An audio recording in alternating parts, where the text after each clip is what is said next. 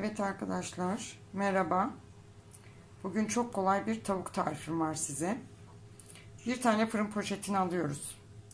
İçine rendelediğimiz 3 diş sarımsak. Şöyle bir yemek kaşığı yoğurt.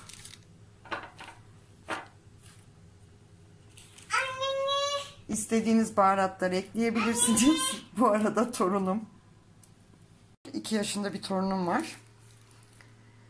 Çekime müdahale etti. Kusura bakmayın. Ee, devam ediyoruz. Baharatlar istediğiniz baharatı kullanabilirsiniz. Tamamen e, sizlerin damak tadına kalmış. Tuzot. Kimyon. Ben seviyorum tavukta. Ama koymak zorunda değilsiniz. Evet baharatlarımızı ekliyoruz.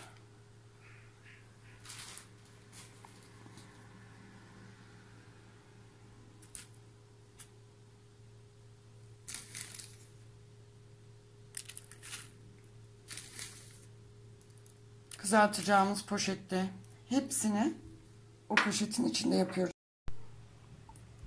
Ben acı sos ekliyorum burada. Sizler eklemek zorunda değilsiniz.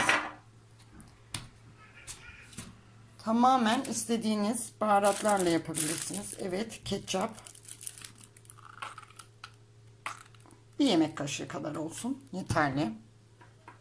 Evet, süt. Bir çay bardağı kadar.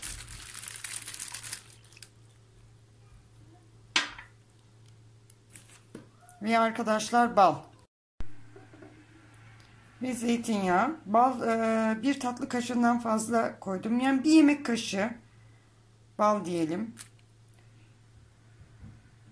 Yarım çay bardağına yakın. Biraz daha fazla. Yakın demeyeyim. Zeytinyağı.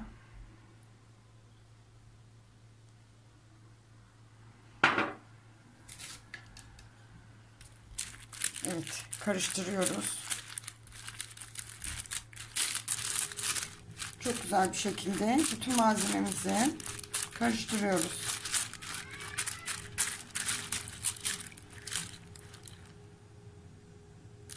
Bu kadar.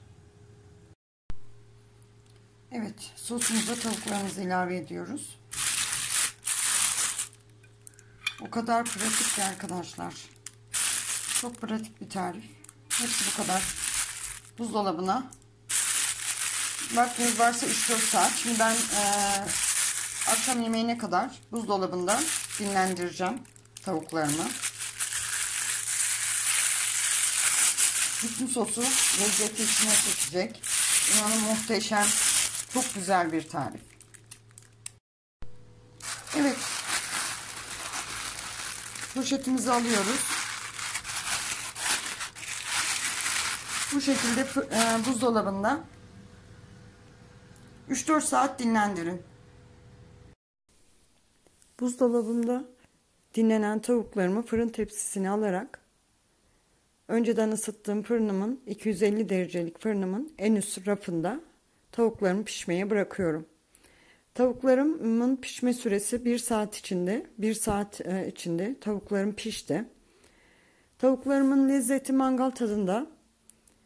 Çok pratik yapabileceğiniz bir tarif paylaşmak istedim sizlerle.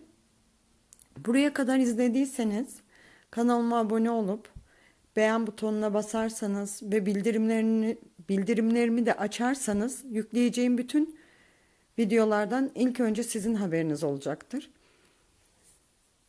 Güzel bir iftar menüsü hazırladım ben.